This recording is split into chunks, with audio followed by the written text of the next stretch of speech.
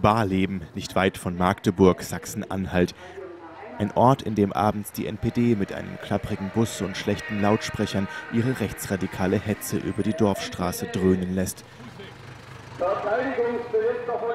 Hier sollte die Lichtgestalt der Bundesregierung in einer schmucken Turnhalle zum verbalen Gegenschlag in Sachen Copy-and-Paste-Affäre ausholen. Doch Guttenberg schockte sie alle. Die Botschaft, die ich Ihnen jetzt bringe, ist eine sehr schwierige. Wir haben um 18.25 Uhr den Anruf des Ministerbüros des Ministers Dr. zu Gutenberg erhalten, dass er in Berlin unabkömmlich ist.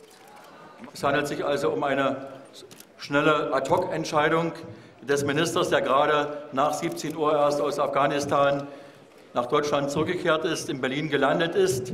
Auch da stand noch fest, dass er hier sein kann. Jetzt kam die kurze, knappe Information mit einigen persönlichen Erläuterungen, aber der Fakt selber war kurz und knapp. Das ist manchmal nicht einfach für uns Politiker, aber so ist das Leben.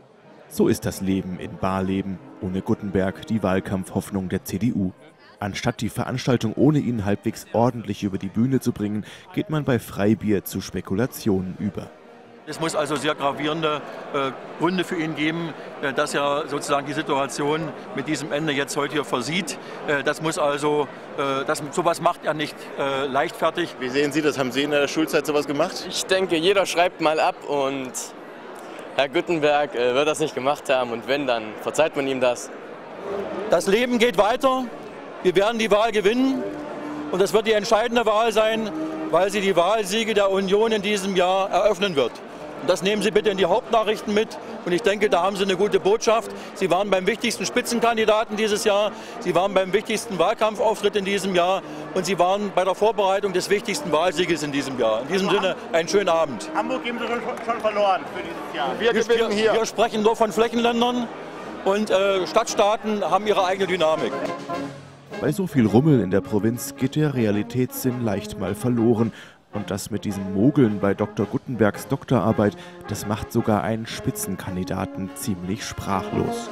Denken Sie, dass Guttenberg geschummelt hat? Ich kann Ihnen nur eins sagen, äh, es gibt akademische Spielregeln und Karl Theodor zu Guttenberg hat diese Spielregeln für sich entsprechend auch zur Anwendung gebracht. Davon gehe ich aus und alles andere muss sauber geprüft werden. Die Union in Guttenberg Schockstarre. Ein groß geplanter Wahlkampfhöhepunkt in Sachsen-Anhalt zumindest ist kräftig in die Hose gegangen.